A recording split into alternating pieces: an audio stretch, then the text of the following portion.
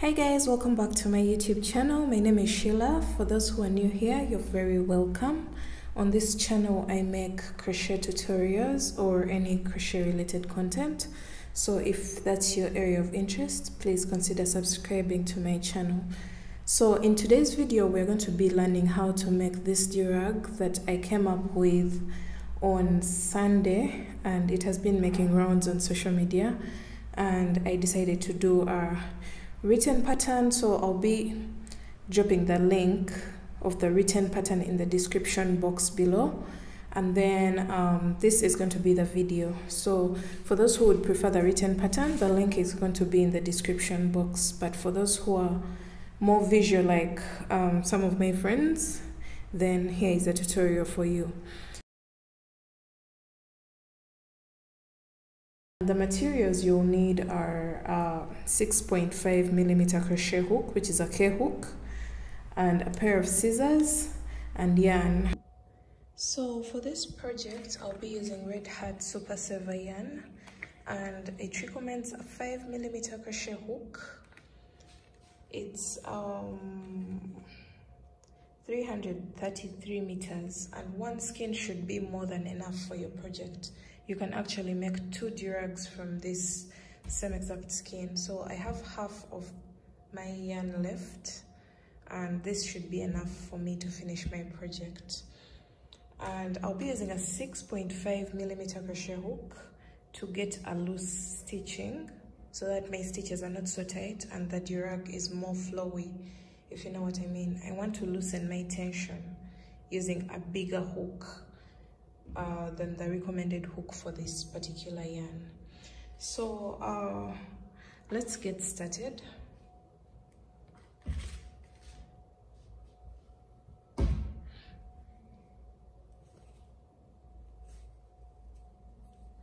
So uh, you can find any yarn that recommends a 5 millimeter crochet hook because I know not everyone has access to Red Heart. But if you have any yarn that recommends a 5 millimeter, then you can go ahead and use that, but use a 6.5 millimeter crochet hook so that you achieve loose tension. So we are beginning our project and we are going to start off with a slip knot.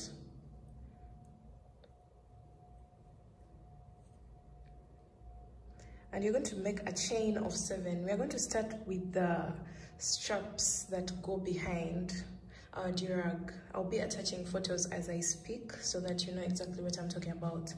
So we're going to start with a strap, the very first strap. This project is made of two panels and I'm working my very first panel. Then we shall go on to the second one, then we shall be doing the attaching. So you're going to start off with a chain of seven. This applies to uh, all sizes because I'm doing for an adult the size of an adult head. So we have one, two, three, four, five, six, and seven. So when you have your seven chains, you're going to go into the third chain from the hook with a mini bean stitch. So we don't count this as a chain. So it's one, two, and the third chain from the hook. You're going to go in there with a mini bean stitch. And for the mini bean stitch, you insert your hook pull up a loop. So you have two loops on your hook.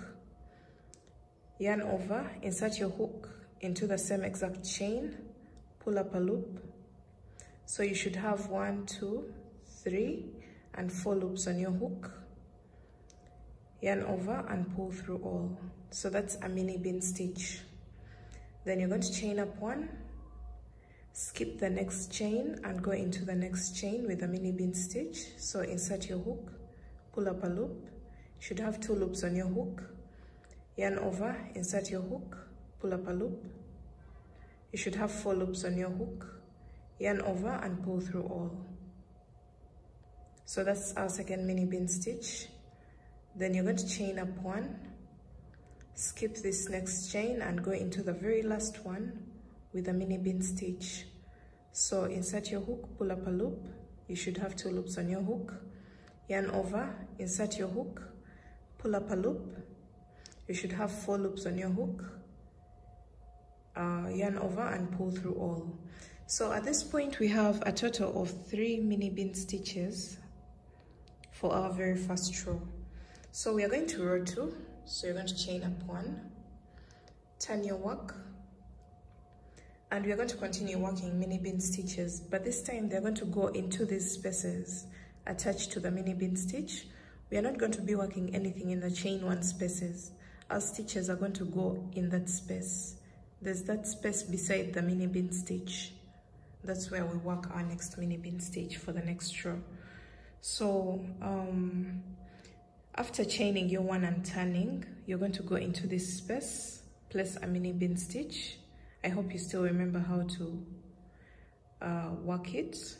I'll be describing it in the description box. I'll be um, giving the instructions of how to achieve it. Chain one, place a mini bean stitch into the next mini bean stitch. Chain one and go into the very last mini bean stitch, but you go into both loops. You can see this one and this one and place your very last mini bean stitch so we're going to repeat row two. I'm going to show you one more time. You're going to chain one turn your work place a mini bean stitch in this mini bean stitch the very first one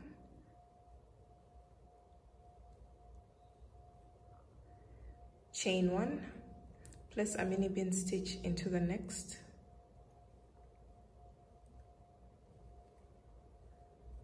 Chain one place your very last mini bean stitch into the last mini bean stitch. So don't forget to always chain one in between. So this is what I have. I'm going to repeat this until I have a total of um, 60 rows 60 rows so so far I have three I'm going to continue working this until I have a total of 60 rows and then I'll show you what to do after that. So this is row 4 and I'm just repeating what I did for row 2 and row 3. So go ahead and do that until you have a total of 60 um, rows of mini bean stitches. You can see the texture is already working out itself. So let me continue to do that and I'll be back on row 61 so at this point I have my 60 rows of three mini bean stitches each row. And this is how my work looks like. And now we're going to row 61 but we're going to do something different I finished my last mini bean stitch and before I chain one Remember, we've been just chaining one and turning our work. But this time we're not going to do that. We're going to do something different. You're going to chain 21. Remember, this is one size for all, so you don't have to worry about uh, if you're making a mistake or not. If you're having the same uh, hook size, then your sizing should be should be perfectly fine. So you're going to chain up 21 so one, two, three, four, five, six, seven, eight, nine, 12, 13, 14, 15, 16, 17, 18, 19, and 20. This is 21. So this is row 60. After row 60, you chain 21 instead of chaining 1. You chain 21 and then go into the third chain from the hook with your mini bean stitch so here and place a mini bean stitch and then chain one skip one chain and go into the next chain with a mini bean stitch chain one.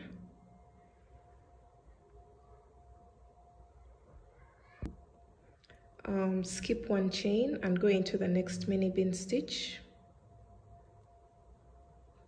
With one mini bean so you go into the next chain with one mini bean stitch. Chain one. Skip the next chain and go into the next chain with a mini bean stitch. And continue to do that all the way across the chain don't forget to chain one in between the mini bean stitches.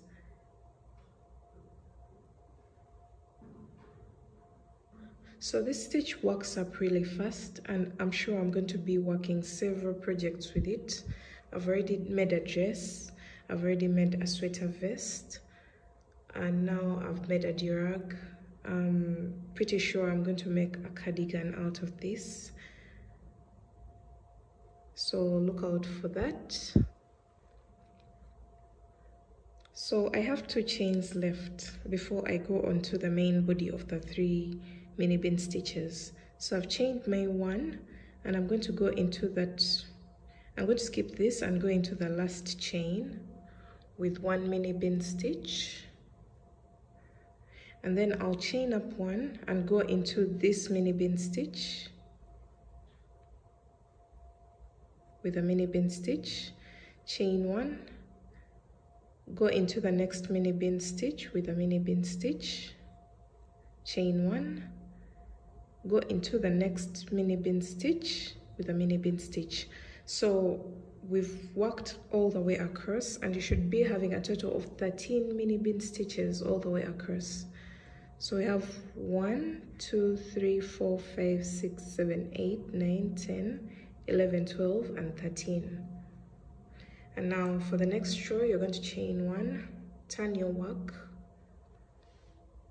Go into the very first mini bean stitch with a mini bean stitch. Chain one. Go into the next mini bean stitch with a mini bean stitch. Chain one. Go into the next mini bean stitch with a mini bean stitch. And repeat this all the way across for your row 62 because this is row 62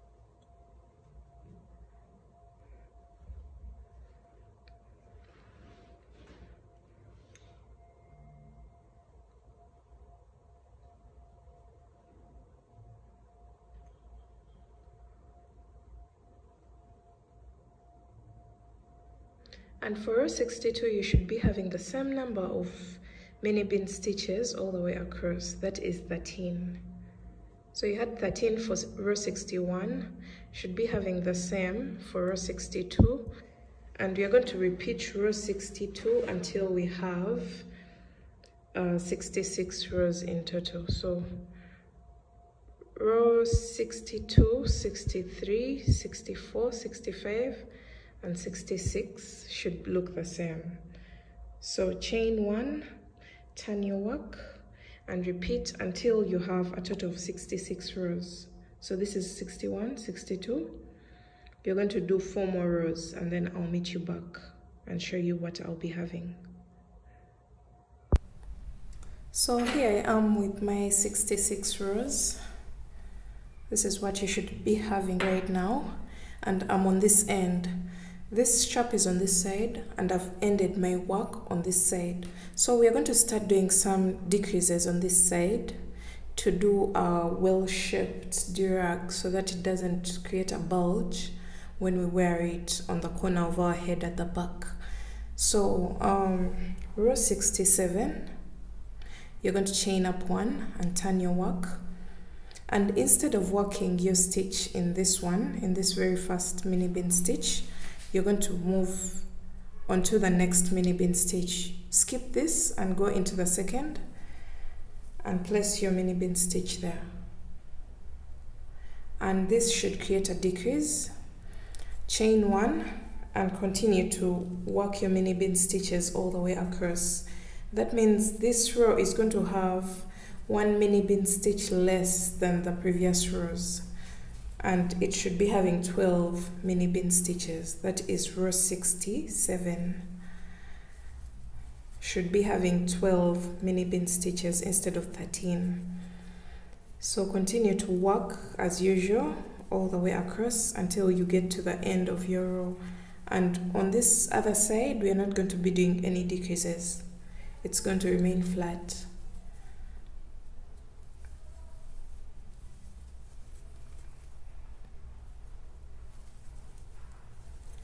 okay so I'm placing my last mini bean stitch in the last stitch. So after this you're going to chain up one and turn your work. So I've told you this side with the strap is going to remain flat like straight no decreases. That means after chaining one you go into the very first mini bean stitch and place a mini bean stitch there. Chain one go into the next mini bean stitch and work your way all the way across. And row 68 should have a total of 12 mini bean stitches. The same number of stitches as row 67 so go all the way across until the very last stitch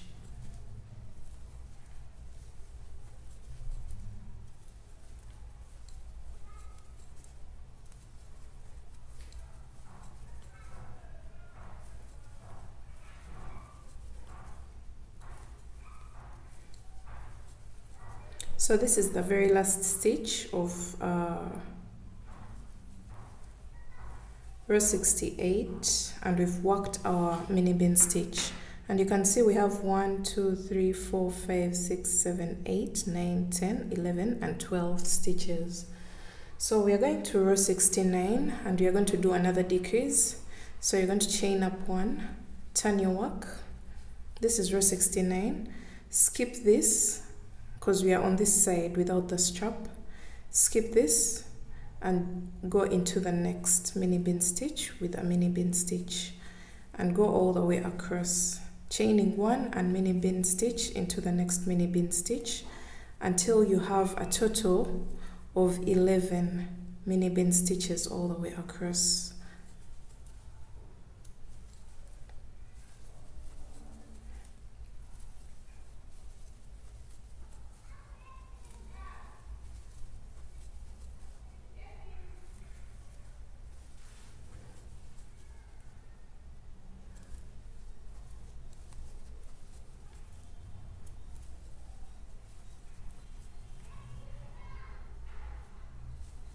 okay so we have our 11 mini bean stitches you can see.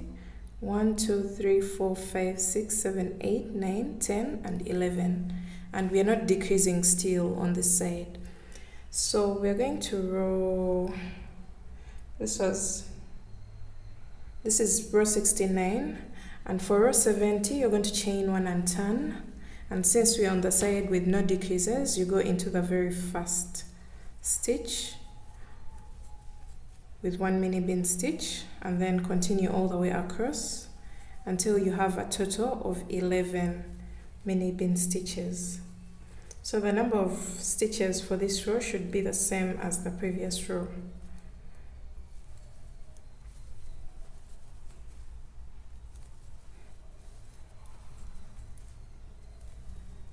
This is row 70. Should be having a total of 11 mini bean stitches all the way across.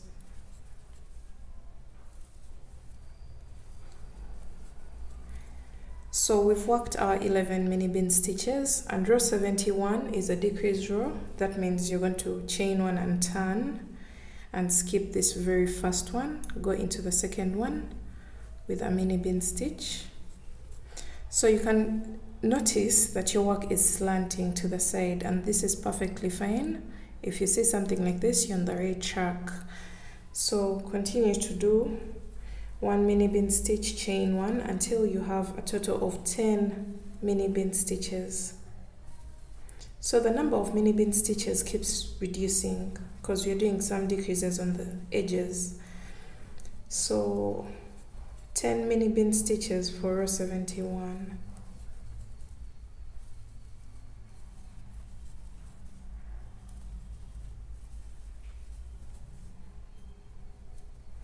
and when you're done with row 71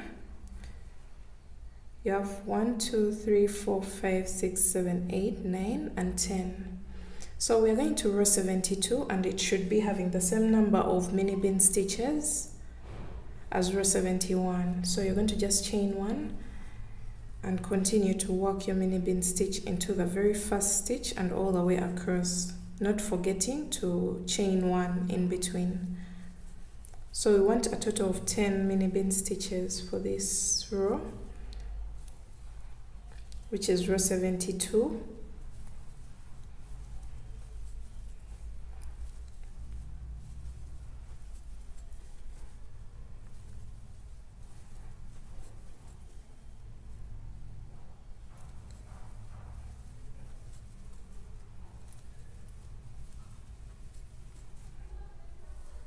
So we have our 10 mini bean stitches. Let's cross check. 1, 2, 3, 4, 5, 6, 7, 8, 9 and 10. And now we're going to row 73 which is our very final row for the upper side. You're going to chain up one which I've already done and turn your work and skip the very first stitch and go into the next stitch and place a mini bean stitch there and then chain one and continue to place one mini bean stitch in each mini bean stitch below not forgetting to chain one in between the mini bean stitches. So um, for row 73 you should be having a total of 9 mini bean stitches.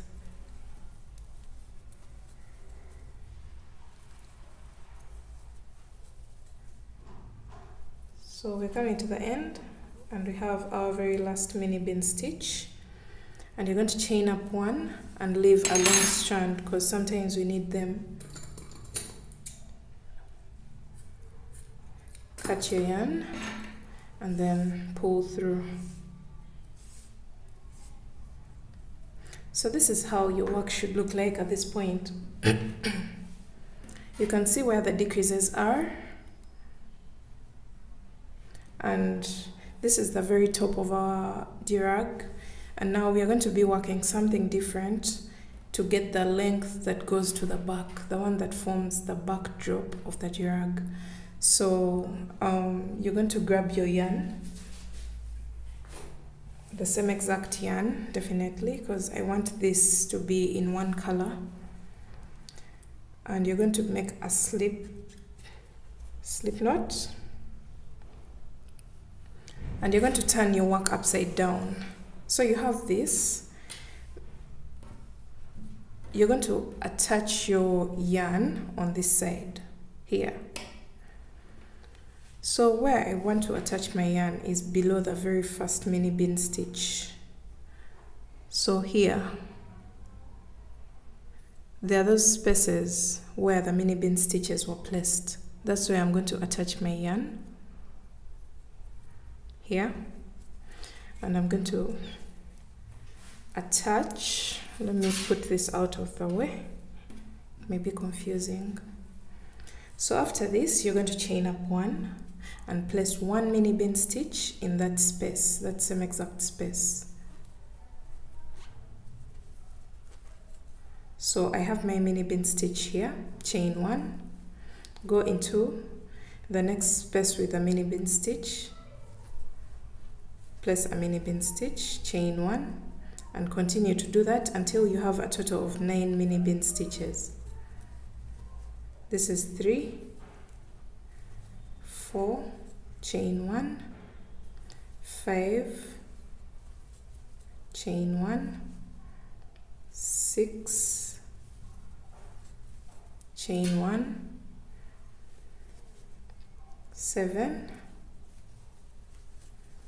chain one, eight, chain one, nine. So I told you to go ahead until you have nine mini bean stitches. So we have one, two, three, four, five, six, seven, eight, and nine. And you have this one stitch left in between the strap and this side. And we are not going to work anything in that space. You're going to leave it blank so you're going to chain up one and turn your work. So I'll call this row one of the backdrop. So this is row one, so we are on row two of the backdrop. You're going to go into the very first mini bean stitch with a mini bean stitch, chain one, go into the next and continue to do this all the way across. Don't forget to always chain one in between the mini bean stitches I'm sorry I keep reminding you to do that because uh, sometimes you can forget and then the work doesn't turn out as uh, expected. So I have to always keep mentioning it. So row 2 of the backdrop should have the same exact number of um, of stitches all the way across. So 1 2 3 4 5 6 7 8 and 9 so we are going to continue doing this 9 mini bean stitches for each and every row until you have a total of 22 rows. So this is one this is two and we need 20 more rows of uh, the backdrop. The backdrop in total should be 22 rows. So so far we've done two and we want a total of 22 so we want 20 more. So that from here up to the end of the backdrop it's uh, 35 rows so let me go ahead and keep working until I have my rows ready and then I'll show you what to do from there. So I've done my total of 22 rows for the backdrop and from here to here that is a total of 35 rows. So once you have that uh, you're going to just chain one and cut your yarn. I'm still going to leave a long strand. If you would wish your backdrop to be longer, this is the point where you have to adjust. If you want it shorter, you do less rows. If you want it longer, you do more rows. The backdrop is this, the backside of your neck, the part that covers the backside of your neck. If you want it longer, you do more rows. If you want it shorter, you do less rows. But for me, this is what I did. And now you're going to go ahead and do the same exact panel one more time so that you have two of them. So this is how my first panel looks like. I've already done my second one and let me introduce it at this point. They should be identical. Same tension, same everything. So you can see this.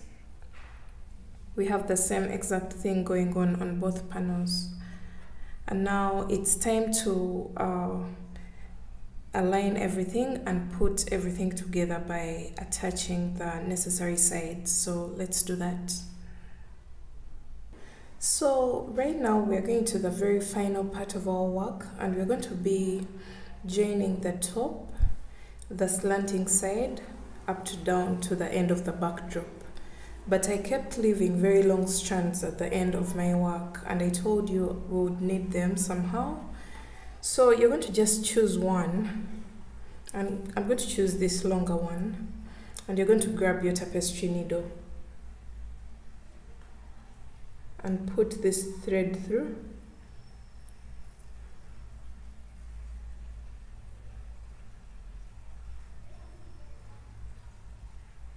Make sure your tapestry needle has a bigger eye because if it's too small, it's very, inconveniencing to put it through. So um, you're going to turn your work to the side that you want to be the wrong side. But I don't have a wrong side because everything looks good and almost the same. So I'm going to just start joining. So we're going to start from the top. We're going to be going into the mini bean stitches. So here and the first one on the other side and then you pull through. First leave this uh, unworked. We don't need it actually. If you can cut it a bit so that it doesn't get into your way you can just cut it but then leave something small so that you can move it in later. So I'm joining one each mini bean stitch to the mini bean stitch and then each chain one space to the chain one space. So that's what I'm going to do. So mini bean stitch and you grab the next mini bean stitch pull through and then join the chain one to the chain one and then pull through. And we are going to repeat that all the way across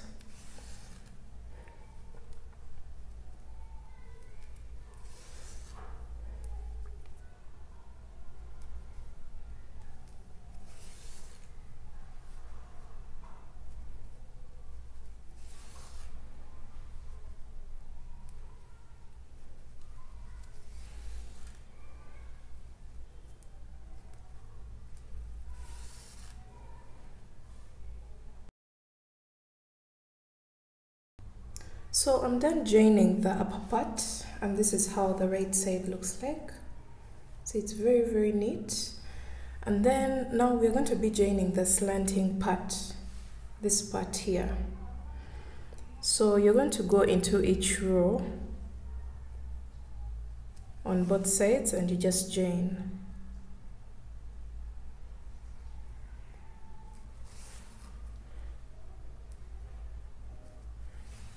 just find the most suitable place to uh, join from. But make sure what you're joining on this side should look exactly the same as the one on this side. If it's a big stitch it should be big on the opposite side. If it's a small space it should be small on the other side.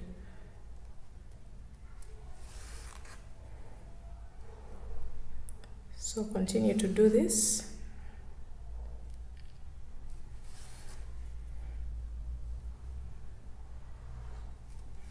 okay so we have this finished. And now we are going to go down joining row to row. So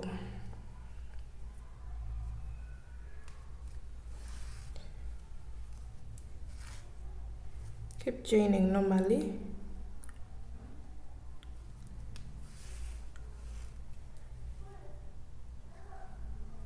So I'm going in between the stitches and then in between like a stitch and then in between the stitch so that we don't have big spaces in between. So I grab this this is a big stitch. I grab the, the big stitch on the opposite side and join and then I go into this small space and then go into the small space on the opposite side and then join and I'm going to continue doing that all the way down just make sure you're matching your stitches right. You don't want to get to this end when one side is longer than the other. So keep that in mind.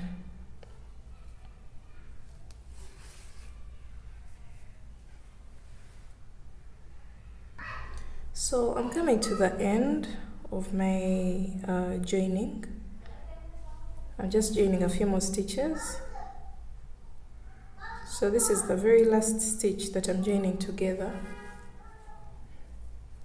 And I'll join it twice just to secure my yarn even more. And that's it. I'm going to remove this. And this is how the durag looks like. So this is the right side of our work. This is the wrong side where we've been stitching from. And this is how everything has come out so I'm going to just get my crochet hook and pull this to the wrong side. Okay. And this is how things are looking like right now.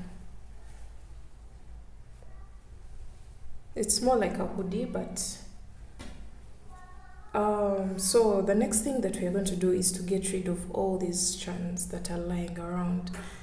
All these strings so that our work is neat. And that's pretty much it. We are done with our durag it's ready to wear and uh, it can be styled in several different ways. I'll be attaching photos of me trying to style it on my dummy and my model wearing it. So I hope you enjoyed this tutorial. Thanks so much for watching. I'll see you in my next video. Bye